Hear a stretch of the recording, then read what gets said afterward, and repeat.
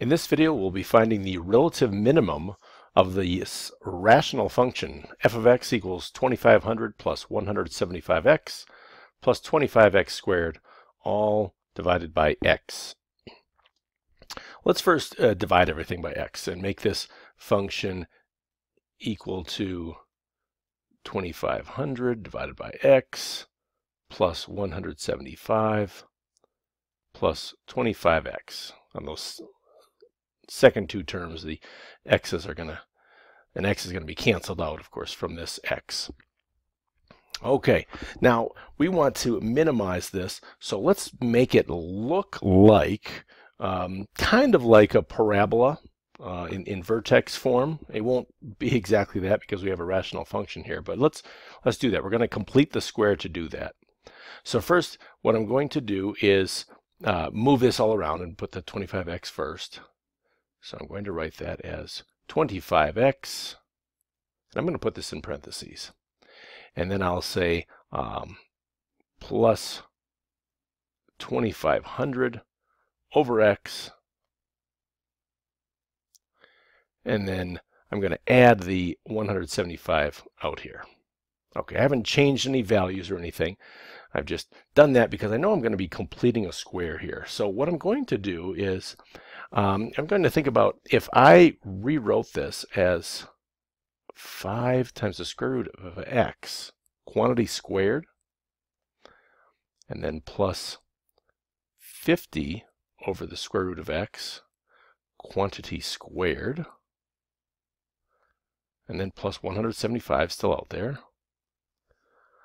Now it's starting to look a little bit like um, we've got perfect squares in the first term and the last term. And what we can do is think about if we multiplied 5 times the square root of x times 50 times the square root of x, we would get uh, 250. But we're going to have that twice when we, if we multiply through uh, with, with FOIL. I'll, I'll show you when we show the perfect square. So I'm going to subtract 500 here and add 500 here. Because again I don't want to change any values of this function. Uh, this function is still all equal. So I subtracted 500 here and added 500 here. Okay. And I know I kind of took a leap here. Uh, now let me show you what this looks like when, when it's factored. I'm going to factor this as 5 square roots of x minus 50 square roots of x. Oops, square roots of x. Quantity squared. Now over here I've got plus 675. Okay, now if we were to uh, FOIL this, 5 times the square root of x minus 50 over the square root of x multiplied by itself, no, we wouldn't get we wouldn't get uh, 25x um, plus 2500 over x, we would have those, those middle terms, which would add up to negative 500. And so that's why I, I put in the negative 500 here, and of course I have to add it back over here also. All right, now to minimize, we want to minimize this function. Well, the best we can do is to get this down to zero. Even if we got it down to negative, we're squaring this thing, so we can't do any better than to get this to zero. So I'm going to solve this equation 5 square roots of x minus 50 over the square root of x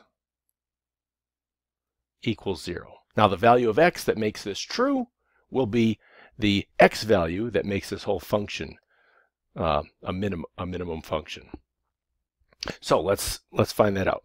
Let's multiply everything through by the square root of x. I'll just show that here.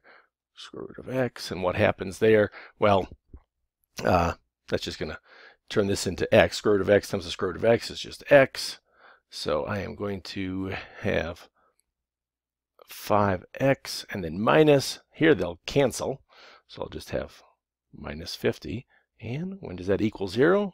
Okay, really quickly, I am running out of room here, so I'm just going to scroll down just a little bit more. And I'll subtract 50 from each side, and I've got 5x equals 0 and then I'll divide by 5. Oops, 5x equals I'm, I'm adding 50 to each side, so I'm going to add 50 to each side. There we go. Now, I will divide each side by 5 to get 10. Hey, x equals 10. So it says find the relative minimum. Well, this is the value that makes it a minimum. So when x equals 10, the value is, uh, the function is minimized. Then we can plug this back in here. Now we know that when we plug 10 in for here, this is the function again. We haven't changed any values of this function. We've massaged it quite a bit, but we haven't changed anything. If we evaluate, if we plug in 10 here, or if we plug in 10 for x here, we will get the same result because we haven't changed the function. We've just changed what it looks like. So I, I will say then the function f of 10 equals 5 square roots of 10 minus 50 over the, over the square root of 10 all squared plus 675. Hey, guess what? We already said that this whole thing is going to equal 0 when x equals 10. That's what we just solved here. So we know that the function evaluated at x equals 10 is 675. So this is the minimum